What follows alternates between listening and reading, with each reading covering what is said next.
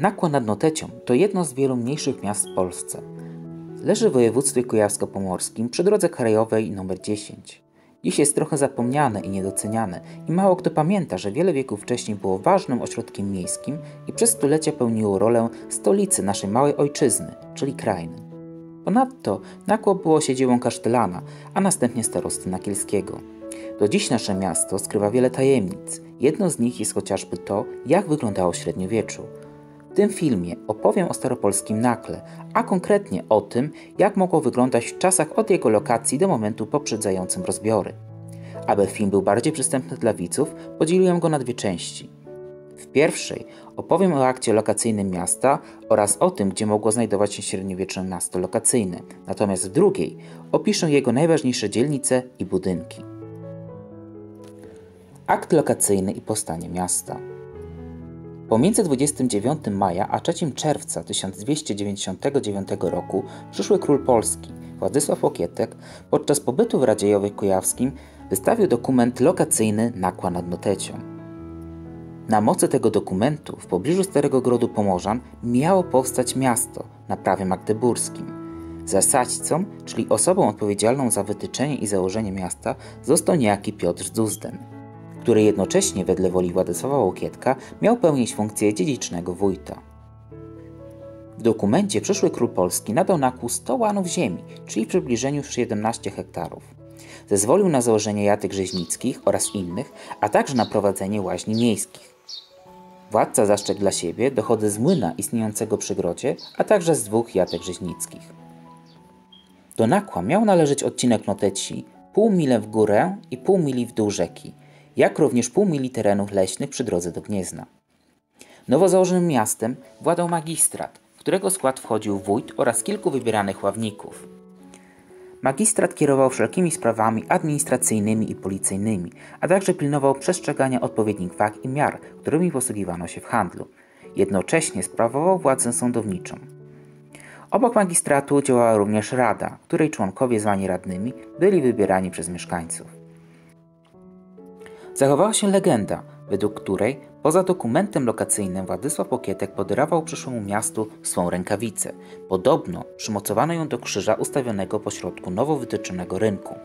O rękawicy Władysława Łokietka oraz o powstaniu Nakła możecie przeczytać w książce Legendy Nakielskie autorstwa Anny Sergot. Jak wyglądało miasto lokacyjne? Wraz z Piotrem Zduzdem przybyli do Nakła nowi osadnicy. Ich zadaniem w pierwszej kolejności było określenie granic ziem na danej gminie, następnie wytyczenie ulic i kwartałów przeznaczonych pod zabudowę, a dopiero na końcu wzniesienie domostw. Jedyne znane mapy Nakła sprzed przeobrażeń miasta XIX wieku wykonano na potrzeby budowy kanału bydgoskiego. Są to karty des Bromberger Kanals z 1772 roku, karty von dem Neuen Netzkanal z 1774 roku oraz mapa pochodząca z 1781 roku. Przedstawione plany ulic i zabudowy wykonano w bardzo dużym uproszczeniu. Poza tym ukazują nakło, które przeszło szereg zniszczeń i w tamtych czasach miastem było wyłącznie z nazwy. Na dwóch starszych mapach rzuca się w oczy brak lokacyjnego rynku oraz placu zamkowego.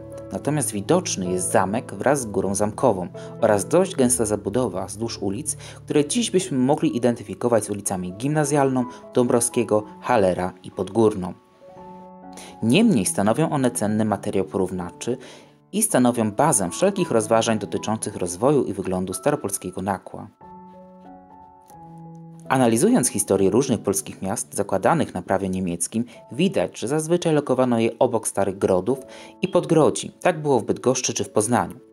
Ale zdarzało się, że pod lokację miasta palono stare osady. Tak na przykład było w Solcu Kujawskim. Jak to wyglądało w Nakle pozostaje zagadką. W sąsiedniej Bydgoszczy w miejscu grodu powstał zamek, a miasto lokacyjne wytyczono w pewnym oddaleniu od starej osady. Być może było podobnie i w Nakle. Ponieważ nakło przeszło szereg przeobrażeń, które zatarły wszelkie ślady sprzed XIX wieku, dziś nie jesteśmy w stanie stwierdzić, jak wyglądało oraz gdzie konkretnie znajdowało się lokacyjne miasto.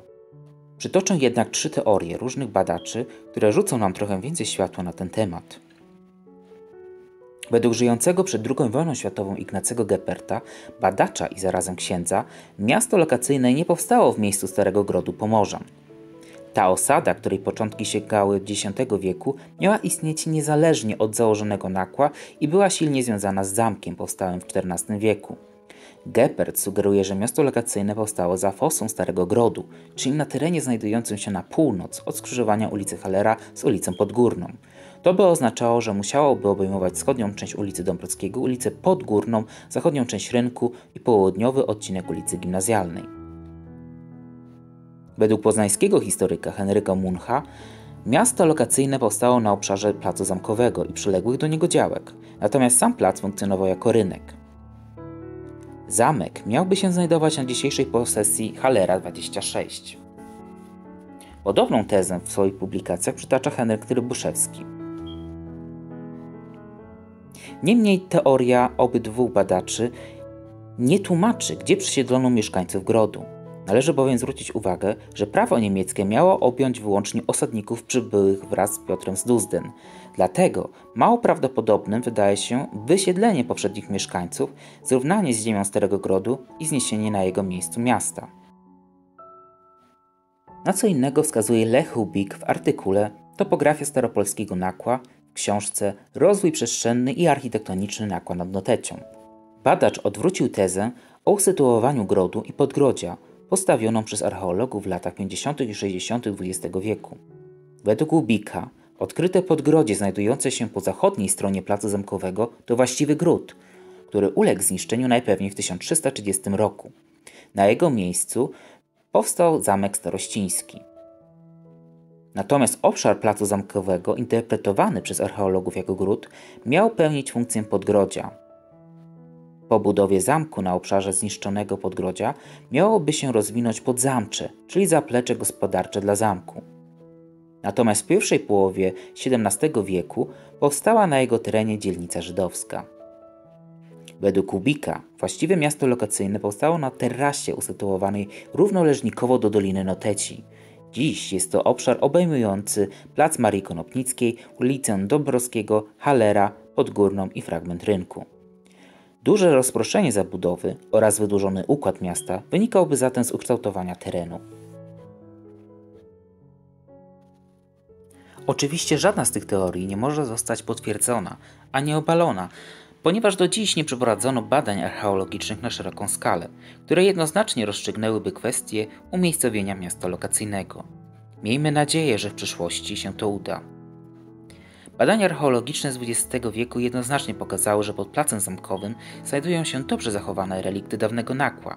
Pytanie zatem, co skrywają inne części miasta?